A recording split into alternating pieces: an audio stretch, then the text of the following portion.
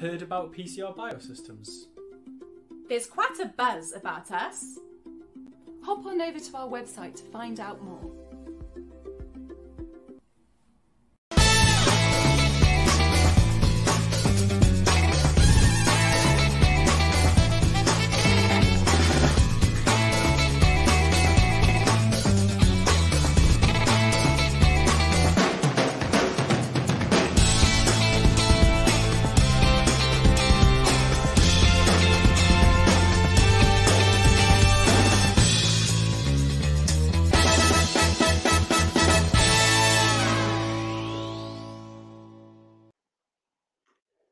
And welcome to this year's edition of Pint of Science brought to you by the University of Roehampton. My name is Dr. Volker Behrens. I'm your host for the evening. Um, we have three speakers and two exciting talks lined up for you today.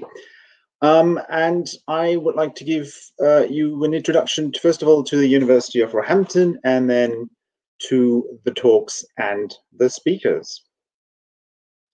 So um, just to show those of you who don't know where we are, um, the University of, of Roehampton is in southwest London. We are surrounded by plenty of parklands. Um, we are an amalgamation of uh, four colleges, and uh, all of us that you're going to see here work in Whitelands College.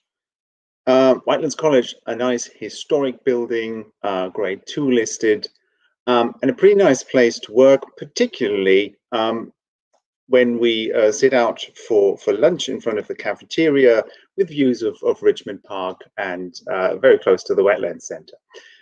So um, to go over to today's proceedings, um, we have three speakers, Dr. Robert Busch, Dr. Adele Costabile, and Enver Keleszade. Um, Robert is an immunologist uh, who will talk to us about vitamin D and its role for COVID 19. Is it a wonder drug? Is it overhyped? What is the relationship?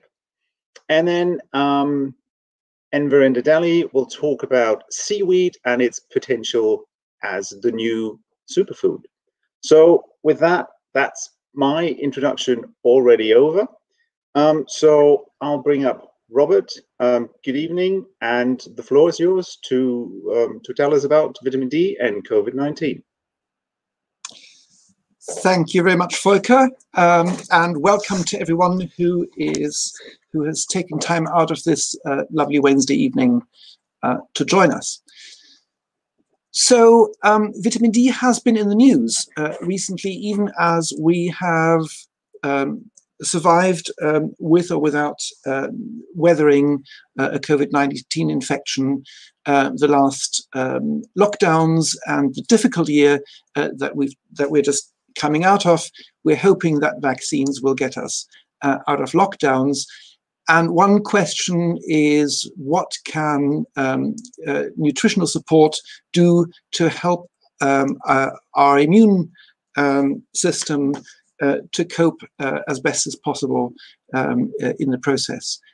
And vitamin D has been hyped in that respect. Uh, it's had a lot of uh, attention. I do some uh, test tube work on the effects of vitamin D on some interesting corners of the immune system, which is partly funded by these MS charities. So I'll be talking about this very, very briefly.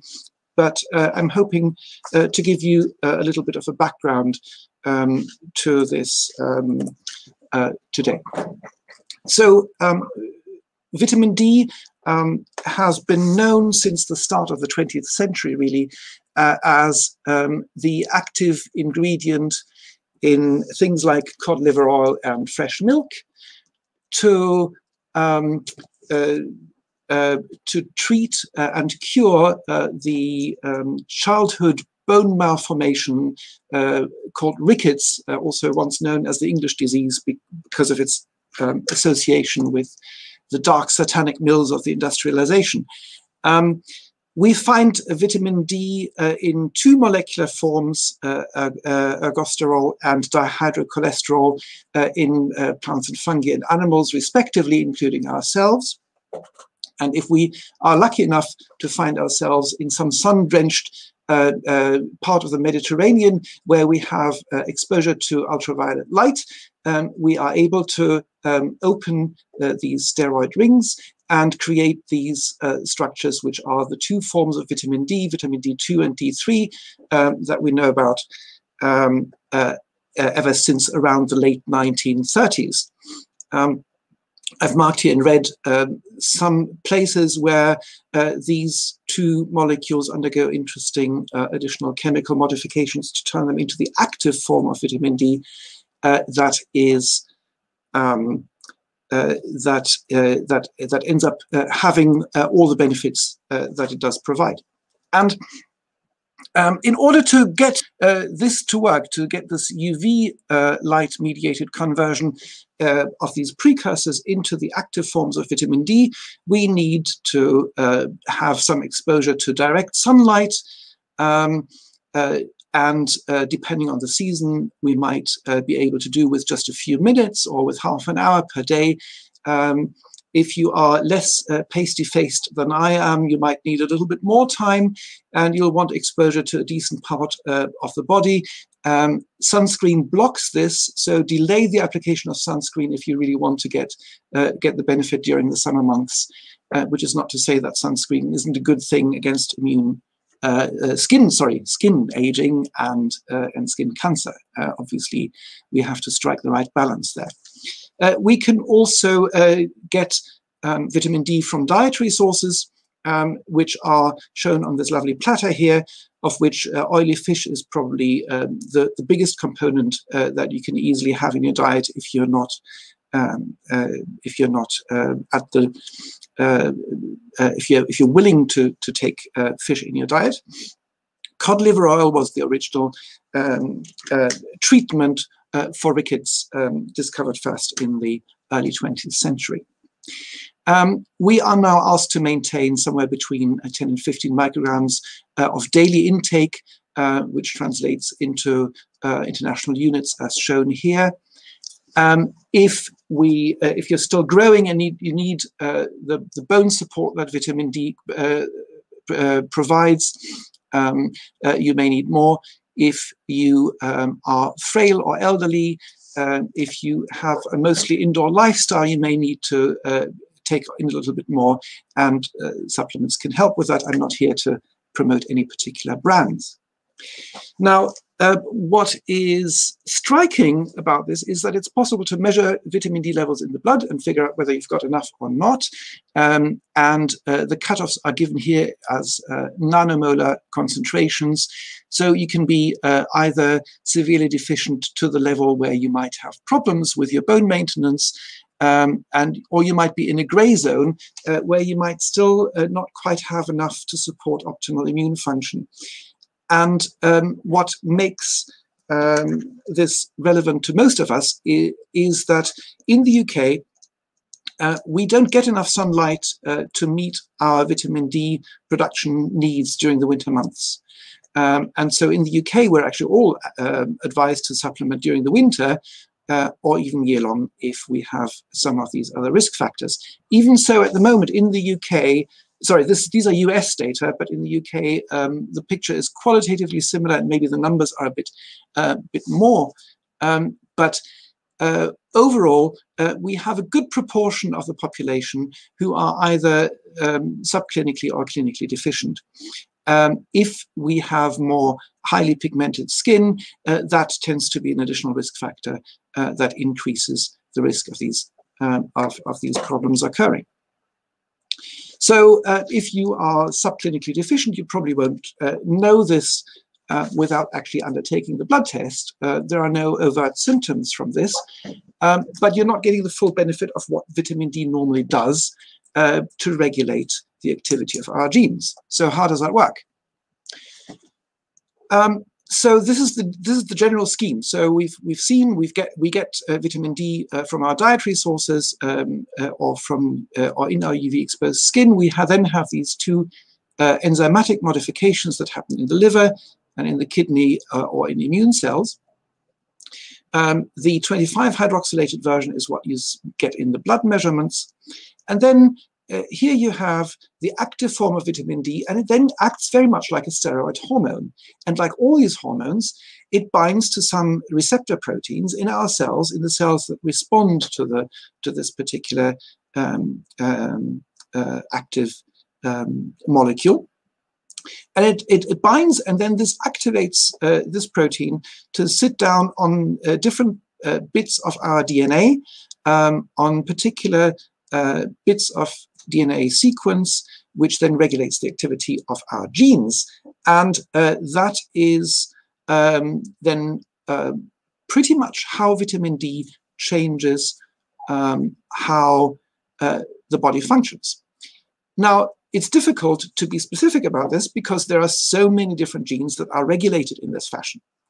Um, but some of the major targets regulate the uptake of calcium from the diet uh, in the intestinal lining, um, the deposition of new bone and uh, its balance with the destruction of old bone uh, as part of our normal maintenance, and then uh, a lot of different aspects of immune function. And this is just uh, a molecular zoom in of the vitamin D with the vitamin D receptor protein uh, and with a second protein called the retinoid X receptor sitting on a piece of DNA where it binds in this fashion.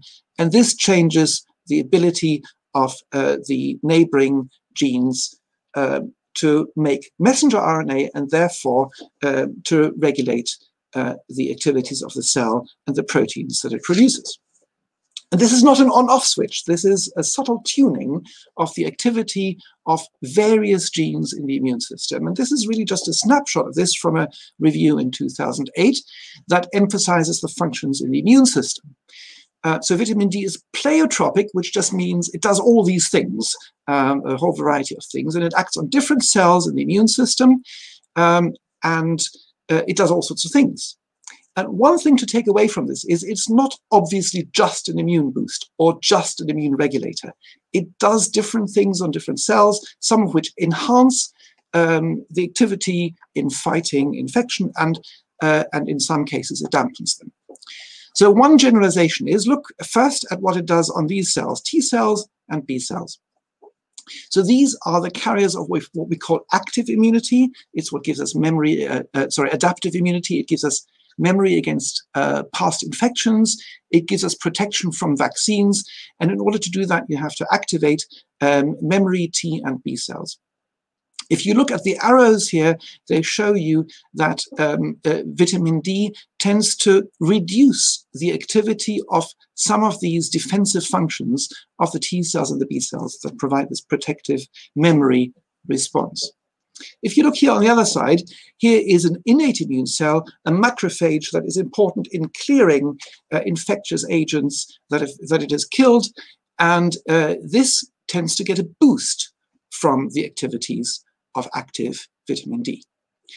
Uh, this one is an interesting cell, a dendritic cell, which has a particular function in getting uh, the innate immune system, of which it is a part, to activate the adaptive immune system when that needs to kick in. Uh, so these are called dendritic cells. And um, I have um, done some research on studying uh, molecules that are particularly important in this activation process, uh, which are called MHC class 2 molecules. And you may not, you may or may not have heard of these uh, in the past. It's a somewhat arcane subject with a bad nomenclature. But the idea is this, you have T cells that need to be informed about the presence of an infection, and you have antigen presenting cells, such as dendritic cells, that have encountered the pathogen and that have therefore become activated. What they will then do is uh, they will take up the pathogen, um, create fragments from its proteins, and put these fragments in, uh, uh, into a binding site which sits on tissue antigens or HLA molecules or MHC molecules. All of this make, means the same thing, and that just tells you how mad the immunological nomenclature is. Um, now, on T cells, you then have an, uh, a receptor which can pick up evidence uh, of this pathogen infection because it happens to match the shape of these protein fragments, and it can then trigger an adaptive immune response. And what makes these tissue antigens special is that when there is no infection, they also present protein fragments from uh, our normal uh, protein uh, makeup or proteome, and this helps the T cells to uh, distinguish self from non-self and to learn to become tolerant to self. So this is really important in diseases in which the immune system reacts against self or autoimmune diseases. And this is just a detailed molecular zoom in uh, on this interaction. So here is the MHC molecule, here is the tiny fragment from the pathogen, and here is the receptor on the T cell that sends the alert signal to get the immune response going. Now, when you look inside the antigen presenting cell, there's a whole other machinery which I've devoted some of my career towards unpicking. So you have the MHC class 2 molecules again here in light blue, presenting their peptides, and you might imagine the T cell here. The um, antigen presenting cell will have picked up um, the evidence of uh, pathogen, uh, antigen, um, from the outside world, engulfed it, and delivered enzymes into these compartments in order to create these protein fragments. And these MHC molecules pick those up. Now, the MHC molecules are delivered into these uh, endosomes, but then they have to do a certain amount of switching around their binding partners in order to pick up their peptides. One of the molecules involved in this is called HLA-DM, and one of our recent findings in the lab is that HLA-DM, the amount of this uh, of this uh, exchange factor here uh, is regulated by uh, vitamin D. We didn't know this before. This is work in cell lines, which we need to follow up uh, and investigate more. Again, it's a subtle effect, as vitamin D effects generally are, but it's quite reproducible now, and um, and we're thinking that it might affect uh, how uh, T cells get to see self and non-self, and could have um, a role in the health benefits that vitamin D may or may not have. Now, if you take apart the immune system one cell and one molecule at a time, uh, you can uh, you can uh, uh, learn a lot about the immune system, but it's not really predictive of the actual health benefits. For this, you really need uh, clinical studies that look at at solid outcomes and typically randomized controlled trials or even meta-analyses. And um, when you're looking at the literature on vitamin D supplementation, you have a range of studies on a variety of different diseases um, that provide a varying level of support for the idea that vitamin D supplementation can help. It can certainly help with, um, uh, with uh, bone maintenance. Um, there is some evidence uh, that um, there is a causal relationship between low vitamin D and the development the risk of developing multiple sclerosis, whether that's a good target for treatment or prevention is another matter. Um, and then the jury is out a little bit more uh, on other autoimmune diseases and inflammatory uh, disorders like type 2 diabetes, but also um, uh, respiratory infections, and COVID 19 is on that list. Um, so, one question is always when we look at association data, they're relatively easy to obtain. We take a bunch of people uh, with a particular condition like severe COVID or multiple sclerosis, and you ask, do they have lower vitamin D than the general population? And the answer often is yes. Whether that is a cause and effect relationship is an entirely different matter, and for that, we need uh, more sophisticated study designs. Now, in, in uh, multiple sclerosis, we have strong evidence, this is an immune disorder of the central nervous system, we have strong evidence um, that uh, that low vitamin D is in fact um, a, a, risk factor for developing um, uh, multiple sclerosis, and um, that doesn't necessarily mean that it's going to be easy to supplement and prevent the disease, from developing or uh, getting better outcomes um, from supplementation, although that is now routinely recommended for patients with MS. But one reason we think it's causative is, in fact, because we have some genetic variation in the, in the enzymes that make vitamin D active or that later dispose of it when it's no longer needed. And um, the general story um, from these uh, genetic analyses is that genetic variation um, that makes vitamin D, uh, active vitamin D, less available um, is a risk factor for developing MS, and that's something that you have um, uh, throughout your lifespan, and that probably is therefore a cause, and it can't really be an effect um, of, um, uh, uh, of, of the disease process itself. So in COVID-19, um, the, the, the balance of probability uh, is a little bit uh, the other way around. Um, it's a reasonable thing to think that vitamin D might regulate the overactive immune system that can cause damage in severe COVID. Um, and there's some clinical evidence that in um, uh, that at least in influenza infection, um, uh, you can get some benefits from uh, vitamin D supplementation, um, and that's about a twofold uh, risk reduction. So that uh, that's uh, a single clinical trial, but it's well controlled. It was done in a Japanese study. So it's not out of the question that vitamin D might have similar benefits in COVID-19. And indeed, we see um, low vitamin D in people who come down with severe COVID, uh, more than in the general population. Uh, it's a slight effect. It's not the best possible evidence. The main problem here is that uh, is that um, we have all sorts of um, uh, other factors that might contribute to the severe COVID that are themselves associated with not having enough vitamin D. We've already seen that people with darker skin um, uh, who uh, end up uh, being at greater risk of bad uh, outcomes for possibly unrelated reasons also uh, tend to have more frequently a low level of vitamin D. If you are housebound or with underlying health conditions, you're more vulnerable with, uh, for COVID, and you're also more likely not to get your daily dose of UV light. Um, if you are obese, you'll put away your vitamin D, which is a fat soluble vitamin, in your adipose tissue, uh, rather than having it in the bloodstream where it can act. So all of these things mean uh, that it's not necessarily clear that this is more than a correlation, that there is actually um, um, um, a problem with immune defenses that comes from not having enough vitamin D and that makes COVID worse.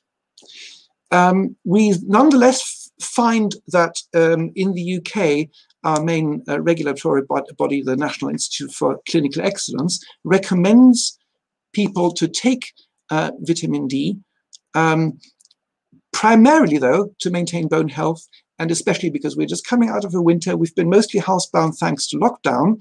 And so it is recommended that people supplement uh, to make up for, for any deficits coming from this. But really, at the moment, the jury is still out on whether um, vitamin D protects against COVID-19 um, uh, as a as a real cause and effect relationship. So um, I uh, uh, hope that's been an interesting little vignette on um, on what vitamin D can do. I'm certainly um, I certainly would would hope and uh, recommend if we can um, that we can take a holiday here. Uh, I hope I've shown you that vitamin D has this interesting uh, intermediate status. It's not quite a hormone because it's dependent on the diet. It's not quite a vitamin because you can make it yourself. Um, you can get it. You can get a sufficient level from all these different measures uh, rather than a, a particular one. Um, I've taken you through a brief tour of uh, its effects on individual immune, immune components and activities. That's not necessarily able to tell uh, us whether it's any good as a health benefit, uh, that's subject to separate studies. Um, and I hope that I've alerted you to the fact that this is a common, that, that a slight deficiency in vitamin D is quite a common thing in the UK, especially in the winter months, that it, uh, that it probably contributes as a causal factor to uh, autoimmune diseases, but that the jury is really out on COVID-19. Um, so, and certainly I would not suggest that anyone rely on vitamin D alone to get them through a pandemic. Do get vaccinated. I've got a little bit of a community outreach uh, project going in Roehampton on this. Um, and I will leave it there. And I look forward to the questions uh, that may or may not have come up in the chat. Thank you very much. And back to Volker. Thank you very much, Robert, for an interesting talk. So um, as Robert mentioned, if you have questions, pop them into the chat. We have a Q&A session at the end. Um, but for now, uh, let's continue with our second talk of the day by uh, Dr. Dalit Costabile and Enver Keleszade, who will bring us in on the secret ingredient from the ocean. So um, stage as if there were a stage. Virtual stage is yours. Thank you, Volker, and uh, good evening, everyone. And I'm very excited tonight, even if it's virtual, as Volker said, and glad to see all of you here. So I will start uh, the talk of tonight to just give to you a brief uh, introduction about this topic, and then Enver will tell you more about this secret ingredient that we are currently studying at the University of Roehampton. So I will start to say that your immune system is quite important and critical for uh, survival. Is uh, we have to say that must be constantly alert for monitoring for sign of invasion or whatever is danger for your body. And what is uh, to say that the cells of your immune system are quite clever. They are able to distinguish self from non-self, but also they are able to discriminate between non-self molecules that are quite harmful, that are coming from pathogen, and the one that are more innocuous non-self molecules that are coming, at example, from different type of food. So I will say that your immune system protect our body from harmful invasion of pathogens, such as maybe viruses or parasites or bacteria. Now, uh, Robert already said before few important point about your innate immunity, uh, adaptive immunity. So I will say the first response to an invading pathogen is quite rapid, is not specialized, is uh, general, and is referring to the immunity that you are born. Then there is something that is more specific and is the ability to specifically recognize a pathogen remember it, and maybe when your body will be exposed again. And the crossroad of this uh, bridging of communication between innate and adaptive immunity, we have very special molecules that are called cytokines. Cytokines are small molecules that are uh, producing, let's say, from uh, many different uh, immune cells are quite important because are mediate your immune response that are also play an important role in the resolution of your immune responses. Let's say that they radiate out from cells such as a kind of a Wi-Fi signal that we need a lot nowadays. So uh, think about that your immune system can be uh, compared with like a huge orchestra. And what's going on? When a pathogen enter or uh, let's say harmful invader enter your body all immune cells cytokines organs they are working together like a huge orchestra.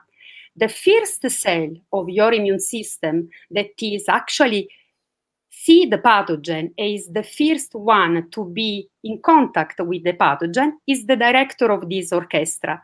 And then that cell, tiny, will start to direct all other cells by forwarding messages, in that case are the cytokines, that are able to then respond as directed.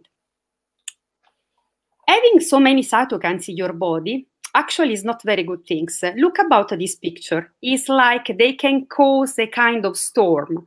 So they can kill infection, they can protect your body, but when there are too many, as I said, it's not very good. So this happen maybe when too many pathogens they can enter in your body at the same time, or maybe your immune system start to produce the wrong cytokine. So in that case, you can have some of these that are helping an inflammation of your body, so we call it the cytokine that are pro-inflammatory, and some others that are good that are reducing. So in that case, we say more, um, more uh, helping your body to enhance health. Now, there are so many conditions that can trigger your immune response. Uh, before the talk before mentioned some of these uh, autoimmune disorders and immunodeficiency disorders. So I will not tell you more again, but maybe you you know about antigen. So we call it something as a foreigner or harmful that actually can trigger your immune activity. Think about you go out and there is a lot of grass pollen, or there is dust, or there are small molecules that are coming from your food one more important is like also an inflammation. And this is the normal step of your body innate immune response. So let's say a pathogen attack your healthy cells or your tissue, then start to produce so many protein that then cause an inflammation. There, there are so many examples that I will show to you in the next slide that can actually depress our immune system. So here I list so many. Mm, unfortunately, sometimes when we are getting older, that could depress our immune system or there are so many environmental toxins maybe you are overweight there is a poor diet and so on here we go so we say nutrition is so important for your immune system. So actually it's very important to say because we are bombarded with so many news that we need appropriate nutrient supply, we need appropriate nutrient status and storage of nutrients. And this because will help us to uh, have an appropriate immune function, but also a better defense against pathogen.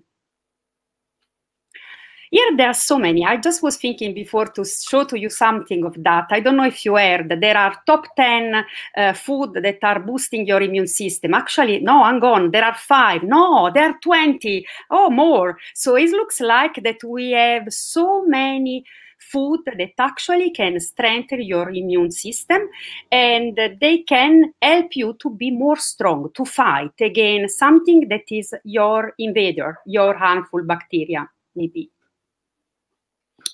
So can we say really that does an immune boosting diet exist? Hmm, I, know, I don't know if I can convince tonight. Maybe Enver later on can tell you more. But actually, I will say yes. There are, I'm sure, in the audience, so many nutritionists that they can say, well, Adele is right tonight because there are so many important uh, food that actually you eating enough nutrient as a part of a varied diet that can enhance health. They can functioning better your cells, but in particular also your immune cells. I will say that there are certain type of dietary pattern that are able to protect your body. So try to create a solid ground, especially uh, against microbes or maybe when there is an excess of inflammation. I'm not sure if you see this slide about Eat Well guide, but actually this is what I meant to say. So you need to have a very different type of food on your plate in order to uh, boost your immune system. And I will say that it's very unlikely that only one food will give to you a special protection. Now, so I will say that if there are so many uh, restriction diet nowadays. Maybe you go to a very extreme diet where you are lowering your nutrient. That is not very good things because you will have uh, something that will impact negatively on your healthy immune system. Think about your Western diet. I'm sure that you like it, but if you eat a lot of this junk food, it's not very good things because your gut will start to be so inflamed, and then this will be associated with the switch off, completely suppression of your immunity.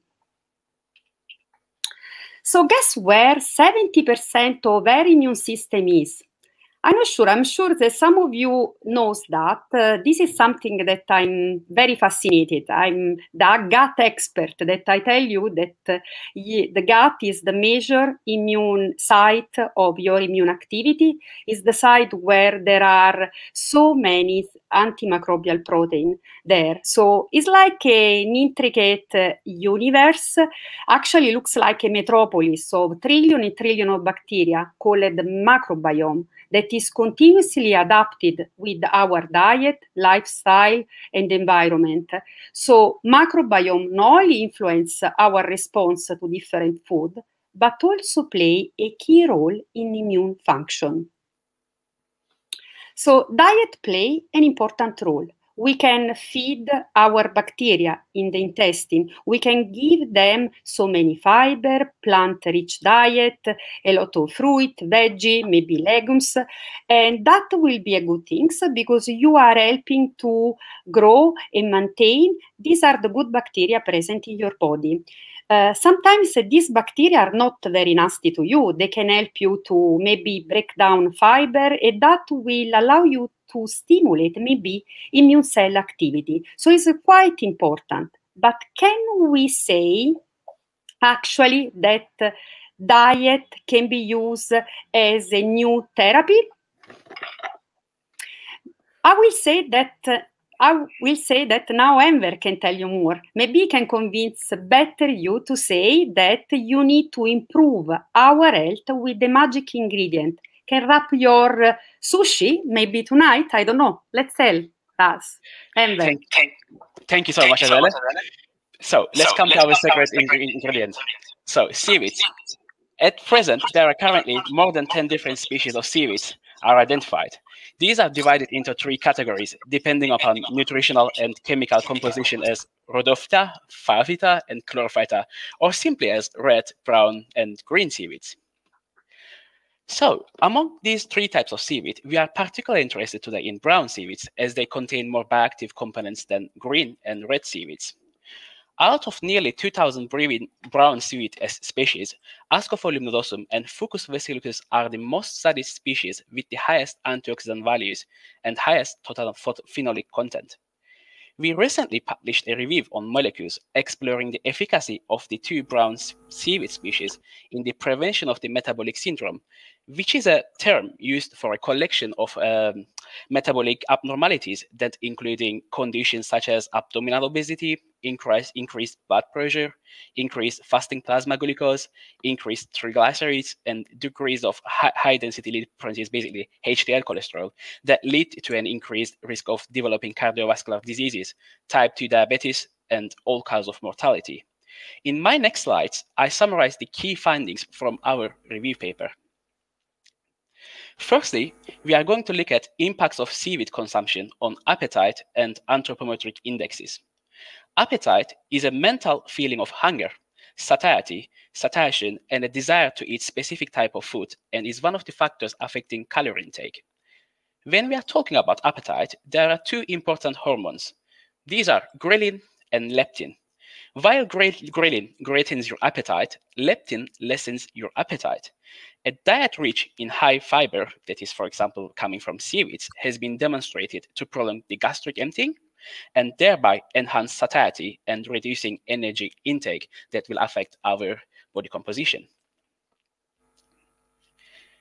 With regards to the impacts of controlling blood glucose level, accumulating evidence shows that brown seaweed extracts inhibit carbohydrate hydrolysing enzymes such as alpha amylase and alpha glucosidase that involved in the digestion of carbohydrates. The inhibition of these enzymes has been shown to significantly reduce the postprandial increase of blood glucose, which means that when you get like carbohydrates after your meal, heavy carbohydrate meal, by the inhibition of these enzymes, you can reduce the amount of blood glucose levels in your bloodstream, and that could be a potential way to manage blood glucose levels in type 2 diabetic patients and borderline patients. When we look at the effects on blood lipids, consumption of brown seaweed extracts showing from our review paper, that is the summary of the 10 clinical trials in this field, has been shown to reduce total cholesterol, triglyceride, and LDL cholesterol, which is the common referred as a bad cholesterol, as high LDL levels leads to build up cholesterol in the arteries. On the other hand, Consumption of these brown seaweed extracts has been shown to increase HDL cholesterol, which is known as a good cholesterol, as it helps to remove other forms of cholesterol from your bloodstream. As Adele previously mentioned, among many factors that depress our immune system, expanded adipose tissue has been also reported to increase the production of pro-inflammatory cytokines, including C-reactive protein, TNF-alpha, and interleukin-6.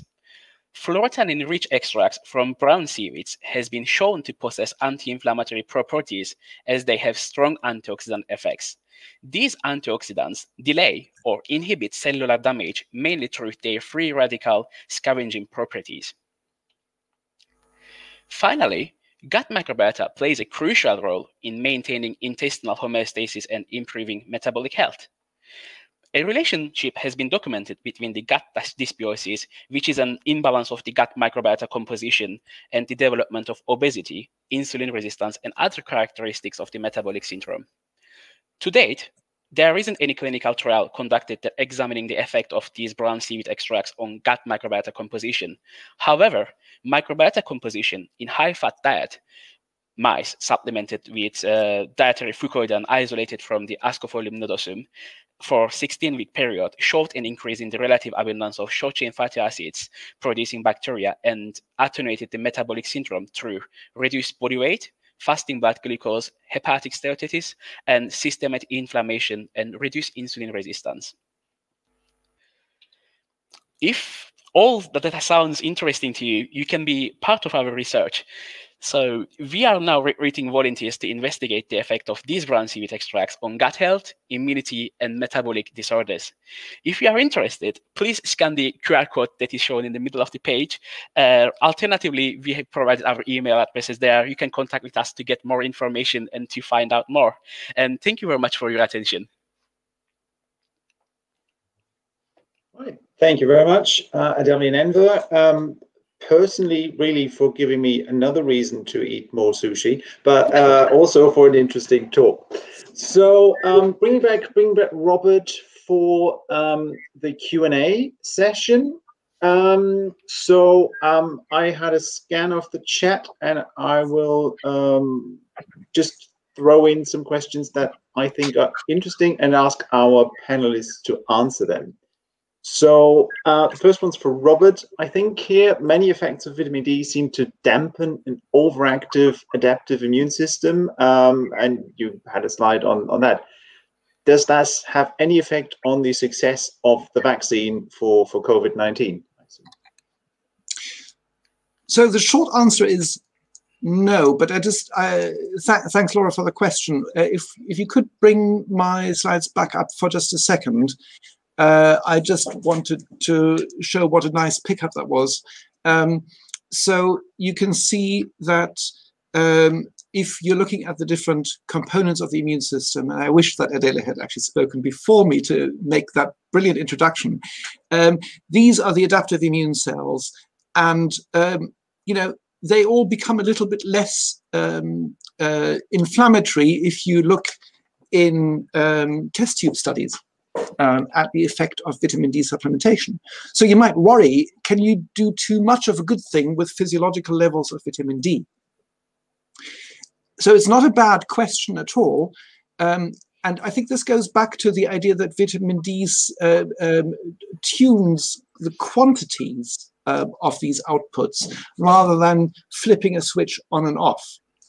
Um, and uh, as far as I'm aware, there's zero evidence that vitamin D supplementation um, at the recommended levels uh, has any adverse impact on the vaccines. If it if it did, uh, I think that would have been picked up in the clinical trials of the existing COVID-19 vaccines, which have shown a high degree of efficacy.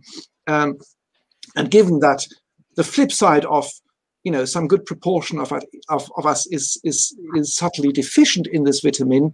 The flip side of that is that uh, that plenty of us have sufficient vitamin d. So if if there were a severe uh, depression of the immune system from having a sufficient vitamin d intake um, you would you wouldn't uh, you wouldn't uh, you would have seen that in the clinical trials i think uh, I could probably stop stop there, but um, uh, but I think uh, but I think it's it's an interesting uh, thing that nonetheless it seems uh, it seems that vitamin D sufficiency um, seems to be quite good at uh, preventing the immune system's inflammatory reactions to to over overdo it and cause excessive damage.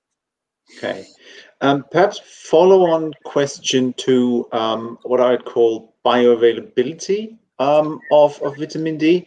Is there a difference in the health benefits of vitamin D from food versus vitamin D we were made with the help of sunlight from, from other precursors? Um, I'd almost say that should probably be answered by a card carrying nutritionist. But as far as I'm concerned, when I see a chemical structure, it doesn't really uh, matter how it was synthesized. That's how chemists think about it. Um, and and so that's that's one answer. The second answer, uh, but thank thank you, Adele. Um, the second answer is that of course the food sources also um, uh, um, had to make their own vitamin D with the influence of UV irradiation for that critical ring opening reaction that makes the active vitamin D from the inactive precursor. And so they've been through the same thing. Okay. He did it right. very well. He answered well. I agree. um, sort of, sort of, um, not in the chat, but sort of following on from from that, uh, linking linking it to seaweed. So the studies done so far I've worked on seaweed extracts. Do you know that if people eat seaweed, if the same stuff kind of arrives in the body, is it as bioavailable, or is that something that where more research is needed? So, very good question. Thank you very much for that. So, two other studies that we're showing that then basically on humans are different, of course, like the the animals or like the in, in, in vitro studies, basically. But so far, from the, the 10 clinical studies that in this done in field, it showed them the administration them like in a capsular format is effective than Mhm. like the eating. So as far as I know from the looking at the data, but there is still gaps in the literature that what is the optimal dosage it. And one of the aim of our study is to look at like the, the what is the best efficacy dose, like 300, 500, 700, because as you said that how we metabolize it. So of course different types of seaweeds as well. So we don't know the bioavailability, but as far as I'm talking about this Ascophyllum focus vesicus species, I can tell that this 10 evidence is there is like effective, but we need to a dose response study to clearly definite and also along with that how long should be administered in order to be so these are we trying to currently address these questions. Okay. Um, that that just just a question popped up in the chat, which is a very nice follow-on and probably impossible to answer uh, at this point of the study. Maybe would different kinds of seaweed have a different effect on your microbiota? Well, I will say to Casper, maybe Casper can join our study and tell you the truth. Well, we don't know. There, is, there are few evidence that could be brown seaweeds that uh, they have a direct, direct effect on the microbiome, but there is a still a little bit of research to need to be done, so we cannot really answer to that question yet. Maybe in a couple of months, COVID permitted, hopefully, then we can more update our our study data. Okay. Um, just uh, scanning through, there's there's a, a kind of personal question. Um, oh, hang on, just jumped. There we go. Um, out of interest, do all of us uh, take vitamin D supplements? So obviously, you don't have to lay lay bare uh, your dietary habits, uh, but uh, it, it would be interesting to to know. Um, I don't, so I can I can say that that I don't. I probably probably should, but given the amount of melanin in my skin, I probably need about three rays of sunlight uh, to to produce enough. So um, I do. okay, I do as well. I pay a little bit of attention to it, and I, I, I, I do a bit of supplementation and also sort of watch my diet and getting out of the house a bit. I think one of the one of the interesting things about about the lockdown advice has uh, has always been sort of you know uh, at the beginning during the most severe stage of lockdown it was stay the dickens at home. And i think that might have given the wrong impression that that the virus was sort of floating around generally uh, widely in the environment. Uh, uh, and with people afraid to go outdoors. Now outdoors is, is actually a relatively low risk environment for environment for for infectious exposure. Uh, but i think I think it's it's one of these little things that we can do that is good that is good for our mental health that uh, happens to boost our vitamin D a bit if we uh, if we are out there long enough. Uh, gives us a bit of exercise, and it's sort of one of those uh, one of those uh, multifactorial things that are just going to be good for us in general. Um, and I, I, think I think in that first stage of the lockdown, which was the, the simplest advice that the government could give us, that was slightly lost. And I think it's a good idea to to think about bringing that back if you've been shy about it. Yeah, I think I think it comes back to to eat healthily, even though no consensus uh, is is is is there based on based on what Adele told us. Like there's like the ten best things, and I don't know whether there's an agreement. Eat healthily and and move around. And during the first phase of lockdown, there there was a no better better don't move if that means leaving the house. Um, bit of a, a bit of a methody question almost uh, from from Chris can the state of our immune system as a whole be measured, or are we reliant on measuring individual uh, components of it and inferring from these? So is there a standard marker? If you've measured one thing, here is our immune system, or is it more a, a, a composite of, of other things? I mean, so it's a very interesting question. Thank you very much for Chris for that. So as a general inflammatory marker, like general in the studies, we're looking at the C-reactive protein as a general markers of inflammation, but there are a lot of other pro-inflammatory and uh, anti-inflammatory cytokines. So it must be we have to be very carefully and like we see like the whole pattern. So there is not like one definite answer, but it should be evaluated carefully, depend on like the whole blood lipid, basically the test of the cytokines. Hmm. I would say that there are strong reasons to say it's never going to be a single measurement. Okay. Um, one one of one of them is that um, uh, that uh, we've already talked about this. It's possible to have too much of an immune response, um, and indeed, inflammation in general, even when it's relatively mild, impairs the function of the tissue where it happens.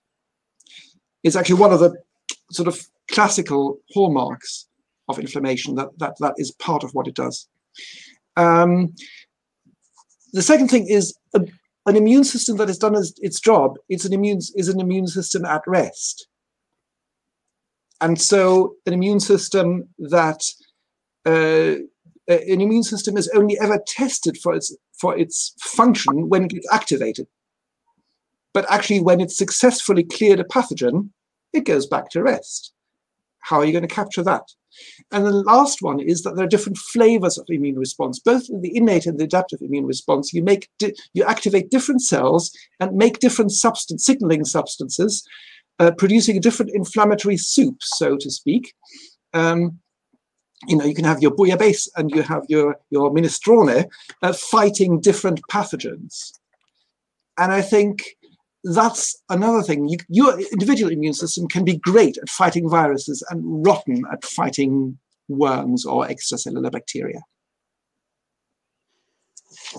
Um, so, oh, uh, here's a question from um, Siobhan asking you uh, to to get off or get off the fence that you nicely positioned yourself on with regards to uh, vitamin D and COVID. Um, do you think vitamin C, uh, vitamin D, sorry, deficiency uh, is a cause of or reason for worse COVID? Um, is this why different countries had different infection rates? Um, and uh, casting all scientific rigor aside, what's what's your hunch? If you had to go yes, no, what would it be? Uh, to me, this is the sort of thing where it's better to endure the pain in your ear end and tolerate the fact that we don't know. Okay, right. Um, so, so what I will firmly on the fence still. So uh, what? Okay, so so if I had to come down on one side or, or the other, I would say uh, there might be a marginal benefit of topping up your vitamin D in protection. Um, I think if there'd been a strong effect, we would have seen it by now. Um, I don't think it's going to hurt. And um, and uh, and I think NICE is pretty much spot on in, in, its advice. So do take it. If you know, I mean, affording supplementation is not a huge uh, a, a, huge ask uh, economically. Uh, it's a cheap intervention. Is going to support other aspects of your health, even if the COVID benefit is marginal or non-existent. But I do believe in in the uh, in getting the strongest possible evidence from the strongest possible study designs to answer that scientifically very valid question of does it actually provide a benefit uh, and for us to act accordingly. Um, and this is also why one of the last bits on, on my conclusion slide was do get vaccinated because it's, uh, I think, again, if it had the level of efficacy uh, in protecting against COVID um, that uh, that sort of approaches anywhere near what the vaccines can do, um, we would have seen that by now. Okay, um, very nice question. Um, so uh, just came in our time is often spent in offices uh, or at home, which now double as our office, uh, within the hours of daylight. Um, is it perhaps that the modern lifestyle is in need of overall? Are supplements enough to counteract the the relatively unnatural way uh, we we're now living or we're forced to live?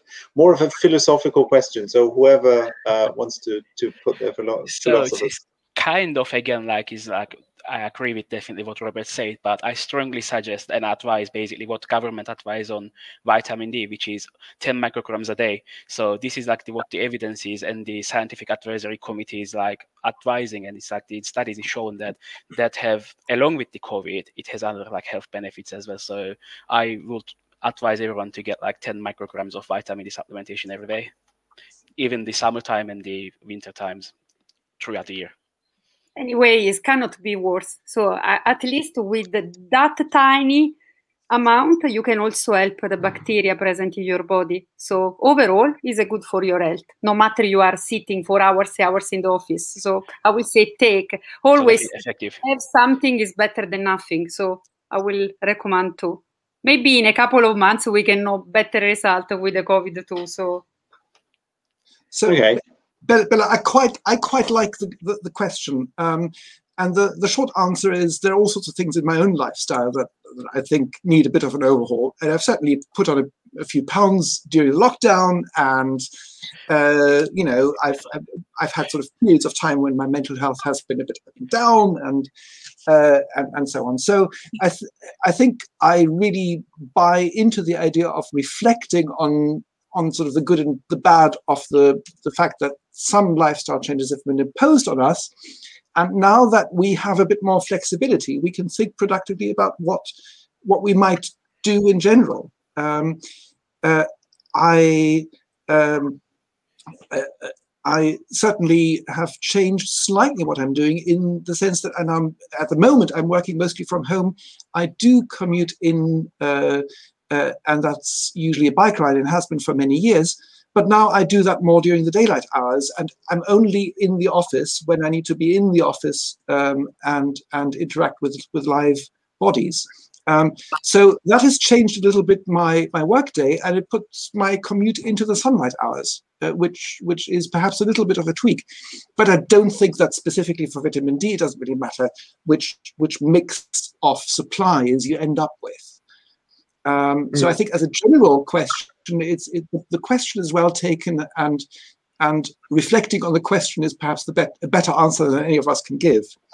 Uh, but for vitamin D, it doesn't really matter.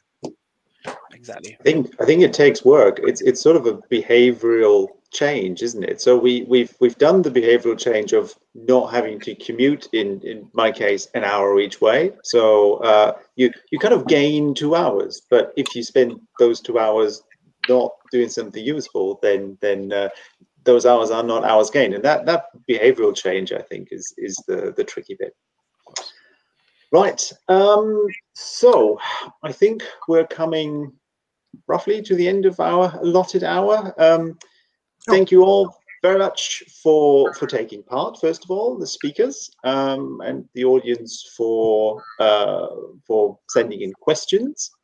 Robert, you had something you you wanted to say something? Oh, I, I just saw you. So no, if if you're wrapping up, it's just I did have a seaweed question. If if there's still time for one. No. okay, go ahead. Go, go ahead. We'll, we'll, take that, we'll, take that, we'll take that off the air. That's fine. No, no, no. I'm joking. No. Go ahead. Go, go, go. Um, okay, so uh, I was just wondering whether you've um, so you've, you've sort of shown some interesting um, health effects uh, and a lot of those were metabolic. Yes. And uh, you mentioned uh, polyphenols, so I'm assuming that some of that is antioxidant activity. But I'm just wondering whether you've had specifically a chance to look at some um, at some immune effects um, uh, in in vitro. Um, obviously, there are all sorts of indirect uh, consequences of the metabolic changes um, that might be anti-inflammatory systemically. But are there some direct effects on the immune system? So thank you very much for your Robert for your question. So um, what I can say at the moment from the available evidence is the studies are limited, and as you like I need to emphasize this one as well. Different studies have different population size. So most of the studies are done with obese people. Obese people has already has a like elevated uh, pro-inflammatory status. Uh, the some studies they did in like the normal health groups, they st still see some reduction in the CRP level, which is the general marker of inflammation. But when it comes to some other studies, are this basically they see this directly like effect on the glucose levels. So this study is like the primary outcome uses gl glucose levels and type 2 diabetic patients. And as obese people, hyperinsulinic people, diabetic people has also altered immune response and they have already uh, higher uh, pro-inflammatory status. So in order to answer this question, we need the studies that define like different population groups because for in order to answer your question, there are studies diabetic people it reduces the inflammatory levels like pro-inflammatory levels and also it increases the anti-inflammatory parameters as their antioxidants but we need more study in different population groups because as i said there are either these studies performed on obese individuals or morbid obese individuals or diabetic individuals but we need more studies. And also the, there are very lot of limitations in these studies because they're nearly accumulating evidences basically Mm -hmm. Very interesting. Thank you. Thank you. All right. Thank you very much.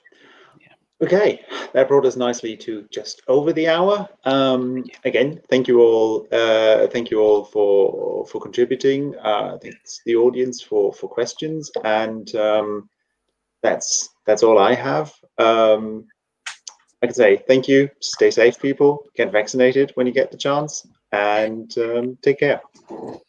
Thank you. And avoid this stuff get some sunshine?